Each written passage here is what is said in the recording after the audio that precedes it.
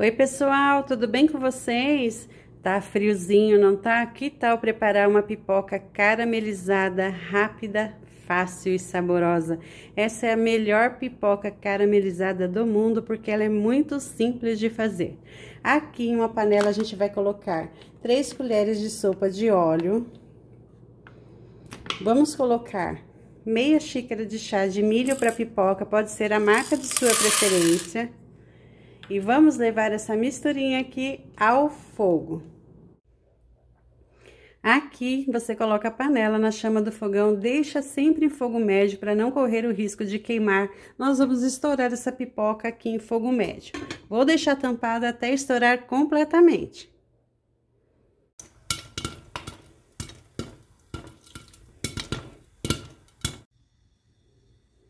Depois de alguns minutinhos, já estourou completamente. Agora, a gente vai transferir essa pipoca para um recipiente.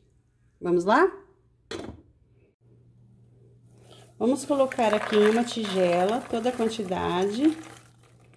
E agora, a gente vai reservar essa pipoca. E aqui na mesma panela que nós estouramos, a gente vai colocar meia xícara de chá de açúcar. E mais uma vez, vamos levar ao fogo. Vamos lá? Aqui com o fogo ligado, mais uma vez, eu gosto sempre de estar tá repetindo para vocês, eu gosto de trabalhar com fogo médio.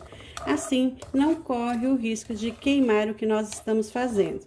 Nós vamos ficar mexendo esse açúcar até ele caramelizar.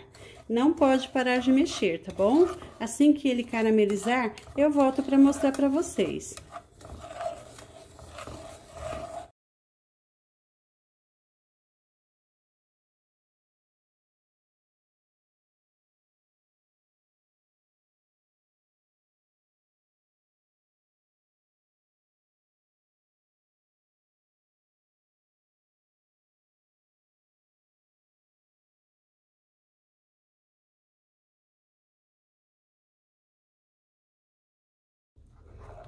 Aqui, com a panela no fogão, com a chama desligada, para manter a panela e o caramelo bem quentinho, a gente vai adicionar aqui toda a pipoca que nós já estouramos e reservamos.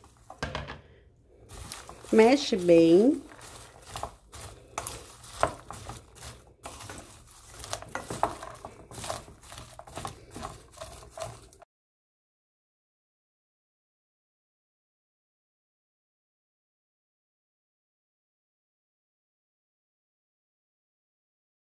Olha só, misturou bem, olha como tá caramelizado. Bem crocantezinho. Agora, a gente vai transferir para um refratário, vamos lá?